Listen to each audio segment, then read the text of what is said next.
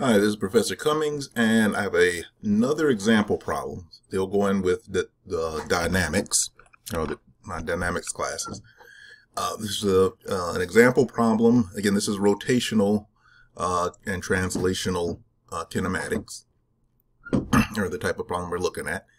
And on this particular problem, okay, we have a vertical axis windmill, and it consists of two blades that have a parabolic shape. So here we have the parabolic shape, the two blades, and over here we have, you know, the opposite, the windmill. Um, and it's got a, okay, the blades are originally at rest and begin to turn with a constant angular acceleration of a sub c, a sub constant is equal to 0.5 radians per second squared. All right, so they have this illustrated. Here is the common axis, and everything is rotating about that axis. All right, so here's where the problem starts. Determine the magnitude of the velocity and acceleration of points A and B. So points A and B are here. Let me see if I can get this thing. Give me a pin. So point A and B, well, point B and A, and on the blade, after the blade has rotated two revolutions. So a few things that I want you to note. All right, it's a parabolic shape, so it means that that diameter is constantly changing from top to bottom. Uh, there's the axis.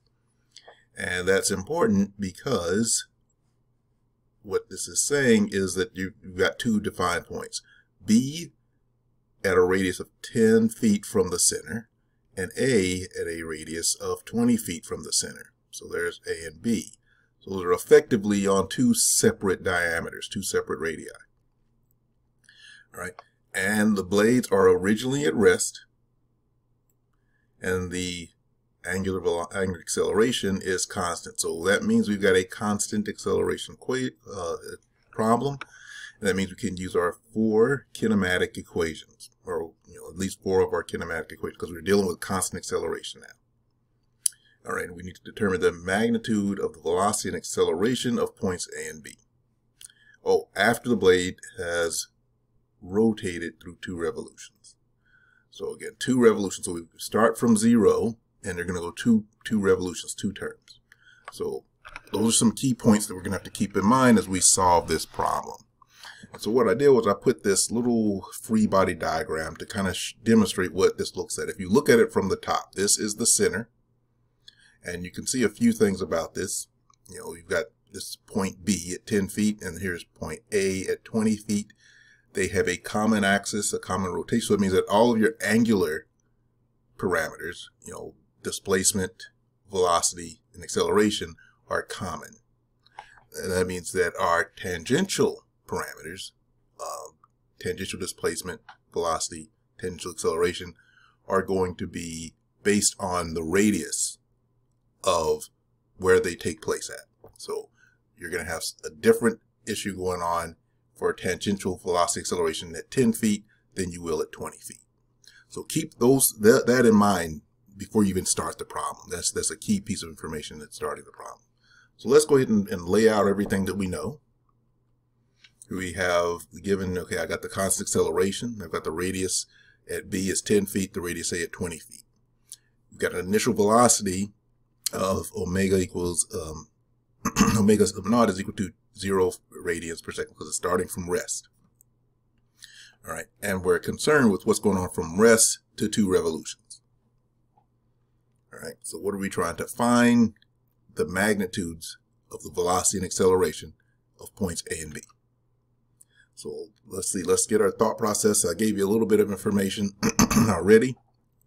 So our thought process, you know, the acceleration is constant.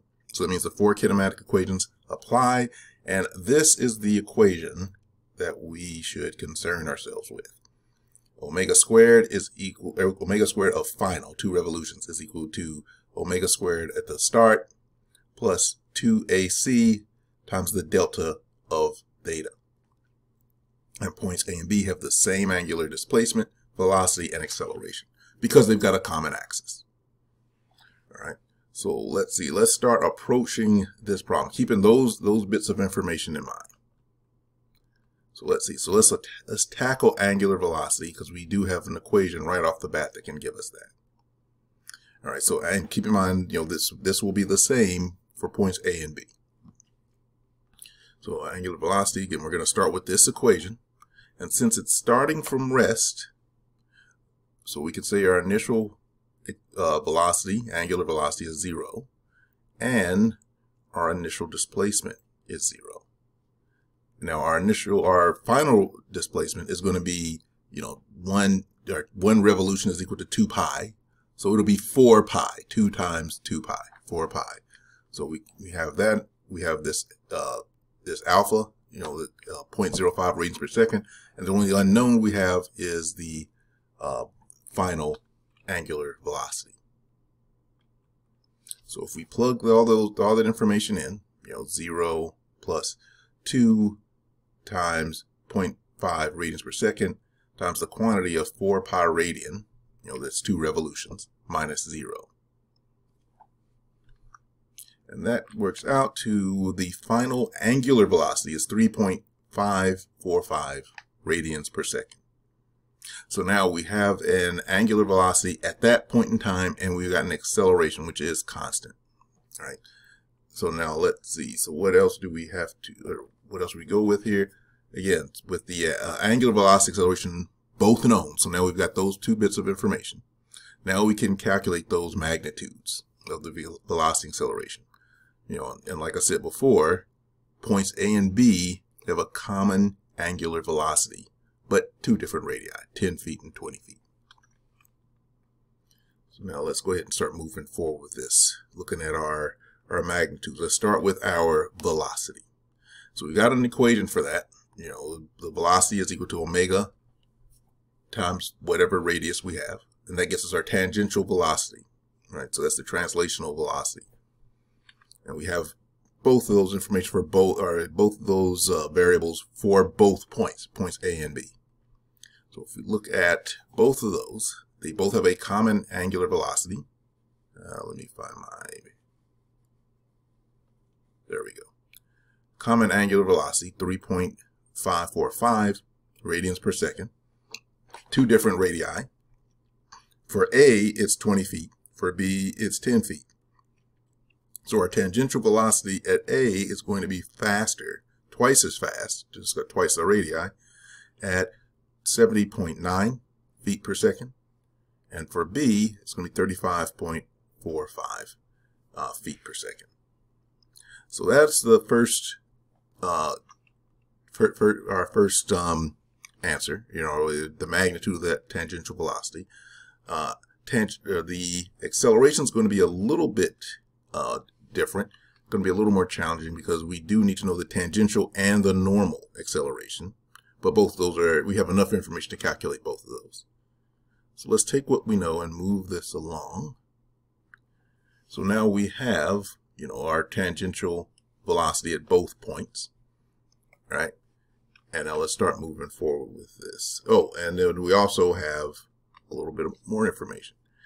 You know, we have our, our tangential acceleration, you know, which we need to do, and that's just alpha times r, the radii, respective radii.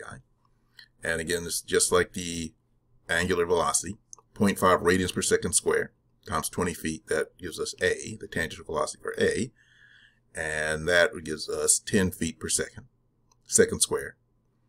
And then for b, the tangential velocity is 0.5 radii per second squared, because again, it's it's constant when they have the common uh, center of rotation, 10 feet, and you end up with 5 feet per second squared.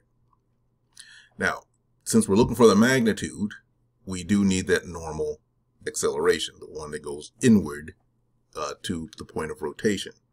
So we have to calculate that as well. And that's another equation, a uh, very simple equation as well. You know, the normal acceleration is equal to the angular velocity squared times radius. And we have both of those bits of information. You know, remember the, that one was the one that we had calculated, you know, right, you know, right off the bat. So 3.545 radians per second, you know, the quantity squared. For A is going to be times 20 feet, which gives us 251.33 feet per second squared. So two, uh, 251.33 feet per second squared. And for B, it's 10 feet at 125.66 feet per second squared. So now we have a normal for A and a tangential for A, a normal for a tangential for B, and a normal for B. 10 feet per second squared, 5 feet per second squared. Now, in order to find the magnitude, we have to take the root sum square of both of those. So we can go ahead and do that and end up with our magnitudes. A fairly straightforward equation. And that'll get us our resultant or our magnitude of our acceleration. You know. And for A, point A, it comes out at 252 feet per second squared. And for point B, it comes out at 126 feet per second squared. Right? Using that same equation. So our final answers for the magnitudes of A and B is, you know, for A, it's uh, 70.9 feet per second. And for B, that's the velocity. And for uh, A, the acceleration is 252 feet per second squared. For point B, the velocity is 35.5 feet per second. And for B, it's 126 feet per second squared. And remember, that's at two revolutions. That excel the that those blades are still accelerating. So, you know, as it moves, it'll move faster. As it rotates, it'll move. Those will be changing. Again, this is Professor Cummings, and that was just one more example. I keep forgetting to say this. Go ahead and like and subscribe. You know, that gets me into the algorithm a little bit more. And I will see you on the next video.